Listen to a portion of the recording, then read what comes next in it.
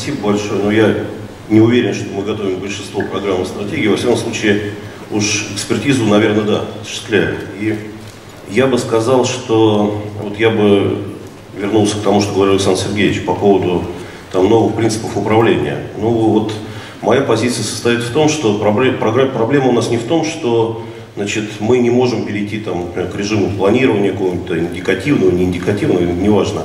А проблема в том, что, так сказать, если и руководство правительства может быть и готово гибко менять значит, механизм управления и каким-то образом так сказать, внедрять новые модели этого самого управления, то с точки зрения аппарата, министерств, ведомств и так далее, мы, безусловно, к такому повороту пока не готовы.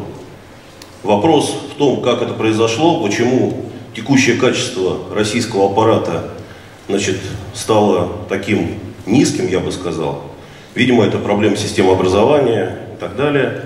Но так или иначе, в общем, если мы что-то с нашим аппаратом не сделаем, аппаратом управления на всех уровнях, региональном, правительственном, то, к сожалению, все вот наши новые предложения по изменению в области планирования, э, стратегирования, они будут, скорее всего, не восприниматься как инструменты к действию. Что еще очень важно понимать про экономику, про то, чем мы занимаемся? Значит, ну вот, э, Роберт Оскандер здесь сидит, один из выдающихся представителей естественно-научных специальностей. Значит, к сожалению, экономика – это э, не естественная, а скорее противоестественная наука, да, потому что в нашей науке невозможно доказательство.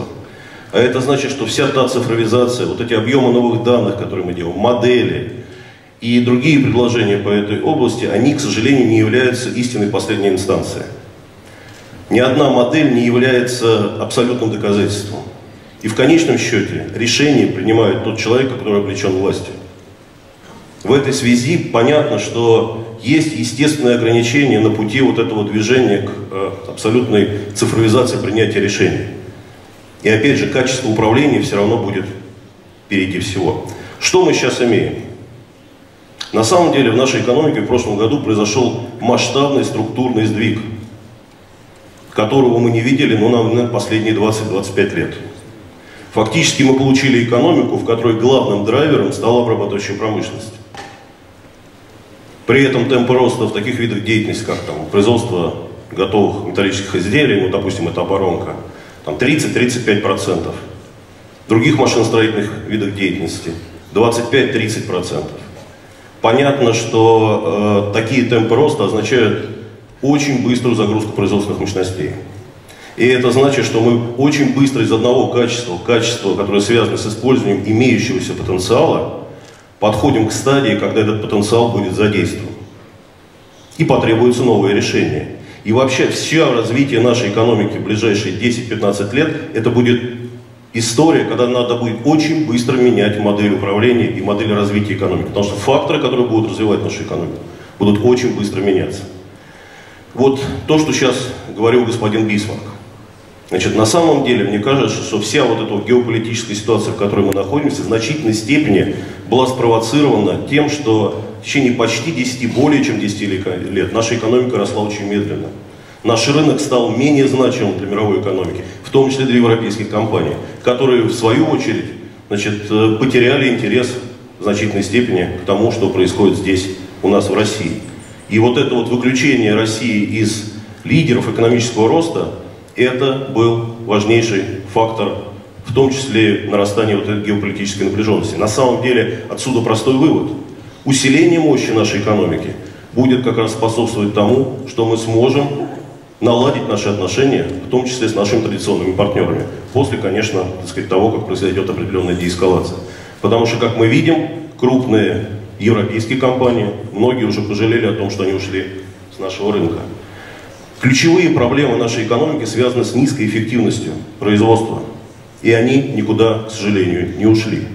И если мы говорим про инвестиции и говорим про то, что на самом деле так сказать, никаких вариантов, кроме как увеличивать вложения в основной капитал не существует, то, конечно, все силы правительства и бизнеса должны быть направлены на то, чтобы эту ситуацию с эффективностью каким-то образом изменить. Что здесь у нас ключевое? Мы все время говорим, у нас дефицит трудовых ресурсов. Да, в краткосрочной перспективе дефицит квалифицированных кадров является проблемой. Но в реальности 30% рабочих мест в нашей стране, рабочие места низкоквалифицированные, с низким уровнем оплаты труда. И если эту ситуацию не изменить, то у нас такая останется э, значит, э, такая вот динамика, когда 20 миллионов рабочих мест – это рабочие места с уровнем зарплаты на уровне или выше средней, а 50 миллионов рабочих мест у нас получают зарплату ниже средней или на уровне средней. И понятно, что в этих условиях у нас возникает проблема не только со стороны предложения. Совершенно справедливо президент на Петербургском форуме говорил об экономике предложения. Но у нас проблемы и на стороне спроса. Потому что мы видим, что несмотря на двукратный рост доходов населения за 15 лет последних, фактически доля потребления первичных товаров и услуг, продовольствия, услуг ЖКХ, общественного транспорта вообще не изменилась. Она остается на одном и том же уровне. Это парадокс, которого не было пока в современной истории крупных стран.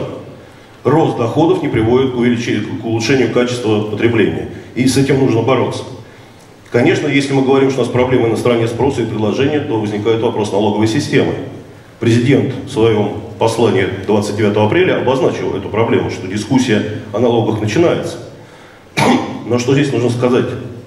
У нас налоги воспринимаются и Минфином прежде всего как фискальная функция, как функция обеспечения доходов.